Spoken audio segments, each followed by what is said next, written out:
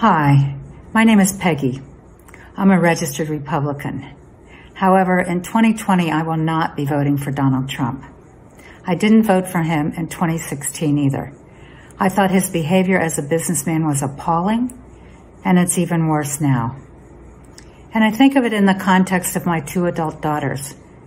And I'm really glad they don't have children right now, because I wouldn't want my grandchildren growing up in the world that Donald Trump has created. It's one where the President of the United States is a bully who disrespects the law and anyone whose opinions differ from his. He doesn't seem to comprehend complexity and the broad impact of the decision he makes beyond how it benefits him.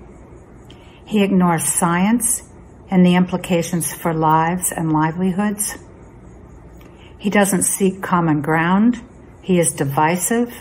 He has incited the worst civil unrest that we've seen in this country since the 1960s.